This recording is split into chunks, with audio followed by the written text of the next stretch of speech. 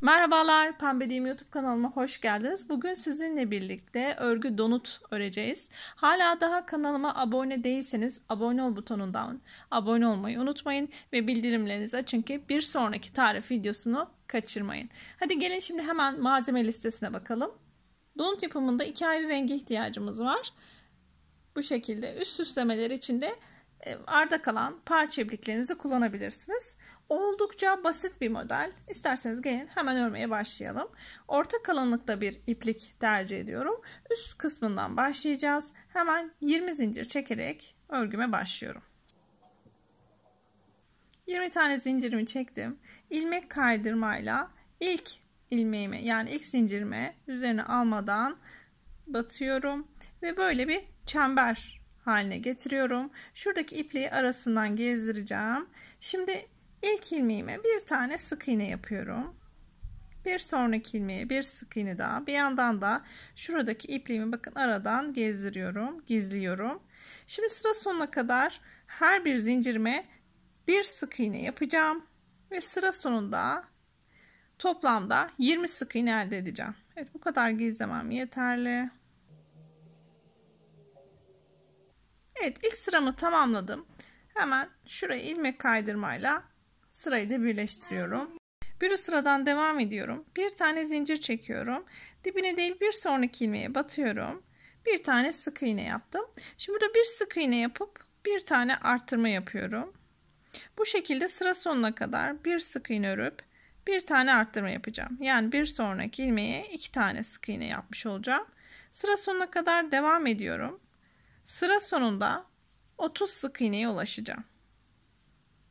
Evet sıra sonuna geldim. Hemen bir zincir çektiğim ilmeğin tepesine batıyorum. ilmek kaydırmayla birleştiriyorum. Burada e, spiral bir şekilde değil de arkadaşlar zincir çekerek sıra başlarımıza başlıyoruz. Hemen e, ilk ilmeğime batıyorum. Sık iğne yapıyorum. Böylece sıram başlamış oldu. Bu sırada e, düz örüyorum. Her bir ilmeğe bir sık iğne olacak şekilde sıra sonuna kadar devam ediyorum ve 30 olan sık iğne sayımı koruyorum. Evet, sıra sonlarına gelince ne yapıyorum arkadaşlar? Zincirin tepesine batıyorum. ilmek kaydırmayla birleştiriyorum. Bir zincir çekiyorum ve tekrardan sıraya başlıyorum. Dördüncü sıradayım. Dördüncü sırada iki sık iğne örüyorum ayrı ayrı ve bir tane arttırma yapıyorum. Devam edeceğim. Bir, iki sık iğne ördüm ve şimdi arttırma yapıyorum. Sıra sonuna kadar bu işlemi devam ediyorum. Sıra sonunda 30 olan sık iğne sayımı 40'a çıkartacağım. Sıramın son arttırmasındayım. Evet. Ne yapıyoruz sıra sonunda? İlk zincirimin tepesine ilmek kaydırmayla birleştiriyorum. Bir tane zincir çekiyorum ve bir üst sıram 5. sıraya başlamış oluyorum. Hemen dibine sık iğne yaparak başlıyorum. Bu sırada da 5. sırada da her bir ilmeği bir sık iğne örüyorum. Ve bir önceki sırada 40'a çıkarttım sık iğne sayımı burada da koruyorum.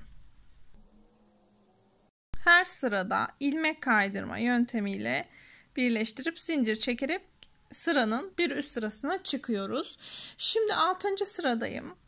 Hemen bir sık iğne yapıyorum dibine yine. 3 tane sık iğne yapacağım. Ve bir tane arttırma işlemini yapacağım. Yani aynı deliğe çift sık iğne yapıyorum. 3 sık iğne ör, bir arttırma yap. Sıra sonunda 50 sık iğneye ulaşacağım. 6. sıramında sıra sonuna geldim. ilmek kaydırma yapıyorum. Bir tane zincir çekiyorum. Bir üst sıraya sık iğne yaparak başlıyorum. Şimdi artık arkadaşlar pembe renkte ipliğimle 3 sıra düz öreceğim. Her bir ilmeğe bir sık iğne ve her sırada 50 sık iğne sıramı koruyacağım. 7, 8 ve 9. sıraları düz öreceğim. Evet donutumuzun pembe e, kısmıyla işimiz bitti. Şimdi çikolata rengi olan böyle kahverengi kısmına geçeceğim. Renk geçişi yaparken bakın arkada böyle sıkıca tutuyorum pembe renkli ipliğimi. Tığımın üzerinde iki tane en sonki e, işlemi en sonki sık iğnemi yapacağım. iki ilmeğim var.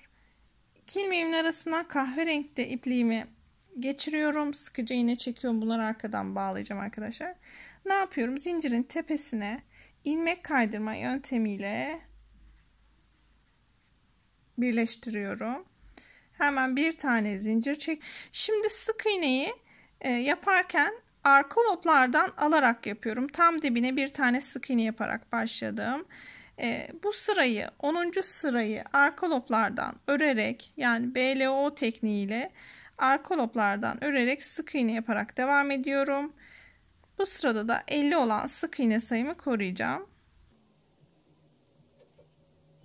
Evet 10. sırada BLO ile yaparak son sık iğnelerime de geldim.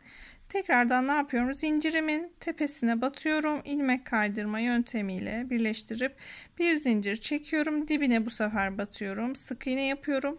Şimdi düz örüyorum arkadaşlar. İlmeğin her ikisini alarak normal bir şekilde yine her bir ilmeğe bir sık iğne yapıyorum ve 11. sırada da 50 olan sık iğne sayımı koruyorum. 11. sıramda sonuna geldim. ilmek kaydırmayla birleştiriyorum bir zincir çekip bir sık iğne yapıp dibine batıp 12. sırama başlıyorum. 12. sırada da her bir ilmeğe bir sık iğne sıra sonunda 50 olan sık iğne sayımı koruyorum.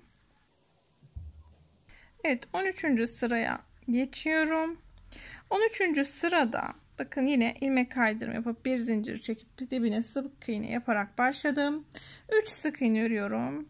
1 2 3 bir tane eksiltme yapıyorum. Bu şekilde sıra sonuna kadar devam edeceğim. 3 sık iğne ör 1 eksilt. Sıra sonunda 50 olan sık iğne sayımı 13. sırada 40 sık iğneyi düşüreceğim. Evet 13. sırada sıra sonuna geldim. ilmek kaydırmayla birleştiriyorum.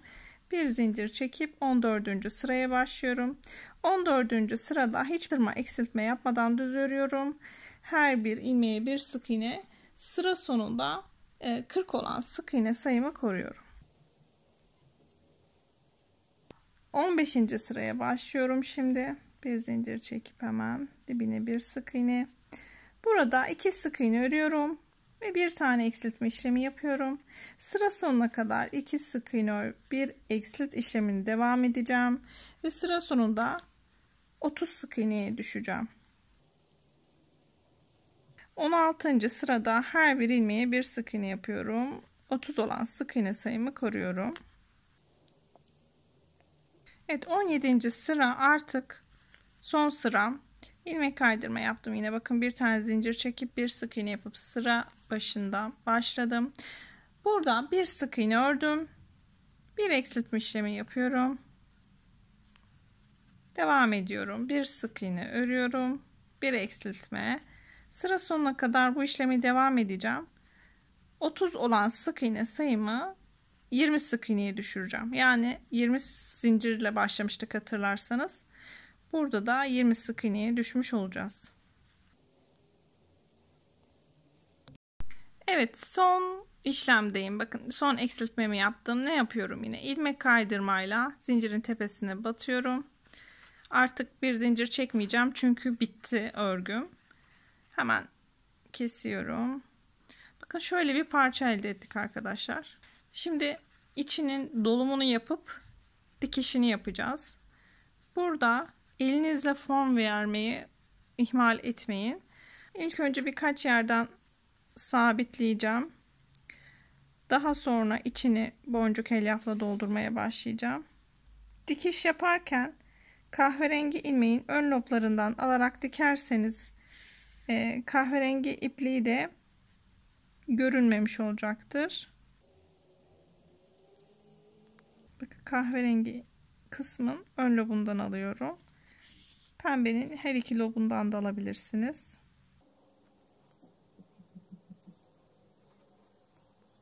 Evet bakın bir kısmını diktik. Hemen o kısma birazcık dolum yapalım.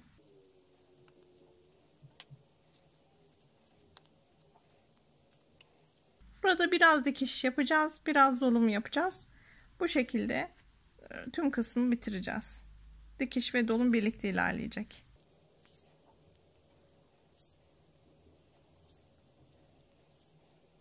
Evet donutumuzun e, dikiş ve dolumunu bitirdik. Şimdi üzerindeki bu şekilde şekerli süslemeleri var.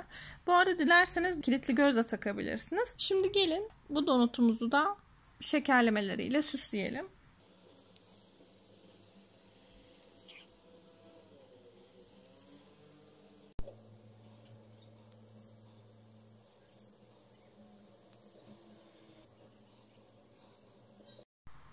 Evet dikiş ve dolumla birlikte donut yapımını da bitirmiş olduk. Böyle rengarenk donutlar yapıp süsleyebilirsiniz. Ördüğünüz bu donutları mutfaklarınızda aksesuar ve süs olarak kullanabilirsiniz. Buzdolabı, magnet olarak kullanabilirsiniz. Anahtarlıklar veya arabalarda araba süsü, çanta süsleri birçok yerde değerlendirebilir. Bu arada bir sonraki videoda cupcake öreceğiz. Benimle birlikte buraya kadar keyifli ördüyseniz lütfen beğeni butonuna basmayı unutmayınız. Bir sonraki videoda cupcake yapımında buluşmak üzere. Herkese kolay gelsin. Keyifli çalışmalar diliyorum. Hoşçakalın.